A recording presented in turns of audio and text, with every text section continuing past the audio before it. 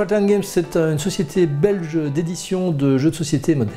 Ça a commencé par une envie euh, de jouer à un jeu qui n'était plus disponible. Euh, ça s'appelait Dragon Rage, c'était un wargame avec des pions, des hexagones, euh, deux dragons qui attaquent une ville et plein d'humains qui défendent la ville. Euh, c'est un jeu qui date de 82, donc c'est pas, pas récent récent. Et euh, ce jeu était introuvable. En fait, il y a beaucoup de jeux de l'époque euh, qu'on peut trouver en print and play, mais là, l'auteur avait décidé de ne pas mettre les fichiers à disposition. J'en ai discuté avec lui.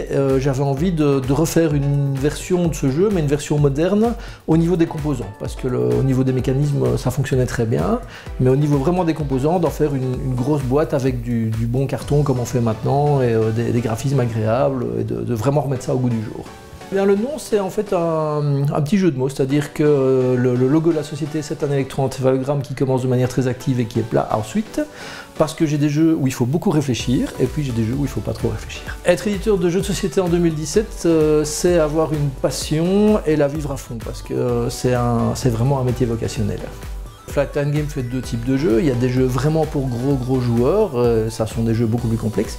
Et à côté de ça, il y a des jeux beaucoup plus familiaux parce que bah, il y a différents types de joueurs et donc comme ça on parle un peu à tout le monde.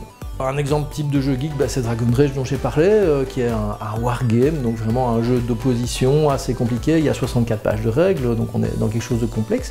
Euh, un jeu vraiment familial, c'est Rumble in the House ou Rumble in the Dungeon, euh, qui sont des, petits jeux qui se jouent en un quart d'heure avec une page et demie de règles et une règle et demie, et sur lesquels tout le monde vraiment peut jouer.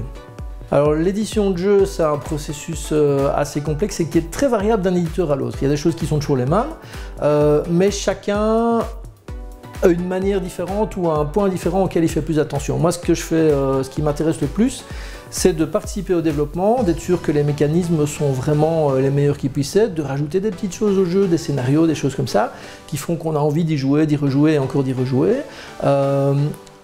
L'auteur arrive avec un prototype, J'essaye, ça me plaît, ça me plaît pas. Si ça me plaît, on, avance plus loin. Je vois si lui a envie de travailler avec moi. Une fois qu'on s'est mis d'accord, on décide ensemble dans quelle direction le jeu va être amené, si on va le rendre plus complexe ou si on va le rendre plus simple, le public auquel ça va parler.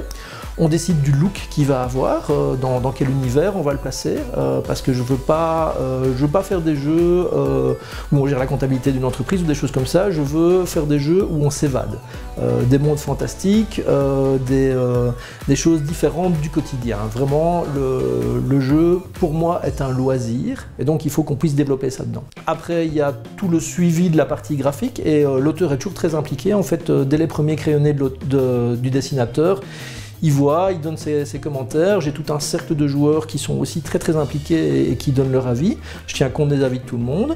Et puis après, on passe à la production, puis le jeu euh, vit sa vie. Mais un jeu n'est jamais fini. En fait, dans, son cycle de vie, à un moment, un jeu est, sorti, il est imprimé. Mais il y a toujours moyen de continuer, de revenir après. Le plus gros hit de Flatline Games, c'est Rumble in the House et Rumble in the Dungeon, puisque les, deux versions euh, ensemble euh, ont fait plus de 80 000 exemplaires en 10 ans. Le prochain projet le plus visible, c'est euh, Steam Rollers, qui est à la fois un retour et une nouveauté, puisque Steam Rollers, on avait fait juste 250 exemplaires, une micro-édition il y a deux ans. et ici, on va arriver avec une, version vraiment de masse, avec des, des illustrations de Benjamin Beneteau, qui est l'illustrateur de Michel Vaillant. Et euh, plus on teste le jeu, plus on le montre et plus les, retours sont bons. Euh, c'est un jeu euh, de train où on livre des marchandises, avec des dés on développe son, réseau. Donc c'est quand même quelque chose d'assez niche, je vais dire, mais on voit que ça plaît à un très très large public. Et donc on a dû faire des, changements assez rapides. Au début on s'était dit ouais c'est un jeu de geek. Et en fait non non non, il y a vraiment les, familles, il y a des enfants qui jouent avec leurs parents et qui prennent goût. Donc on, on est vraiment en train de réadapter ça pour être sûr que le jeu euh, soit présenté en fonction du public auquel il s'adresse vraiment. Avant d'être euh, éditeur de jeu, j'ai été un, auteur publié. Avec euh, Frédéric Meyersohn, nous avons tous les deux fait un jeu qui s'appelle Battle Chaos, qui a été édité en 2007 chez Zetman Game. Euh, et j'ai d'autres jeux euh, à moi que je suis en train de préparer et qui verront euh, normalement plus tard le jour chez Flatline Games. Être éditeur de jeux à Bruxelles, c'est un vrai bonheur. On n'est pas beaucoup. Il y a mes, mes chouettes collègues de, de chez Repoprod qui sont là depuis un moment. Et être à Bruxelles, ça a énormément d'avantages. Il y a des groupes de joueurs euh, qui sont extrêmement actifs. On peut facilement trouver des gens pour tester. Euh, il y a euh, beaucoup d'initiatives. Il y a des choses comme les soirées terribles, etc. Il y a évidemment le Bruxelles Game Festival.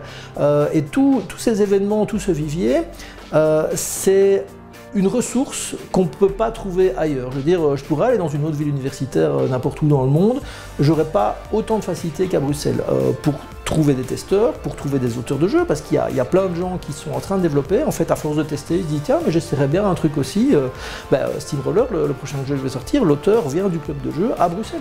En conclusion, bah, Bruxelles joue.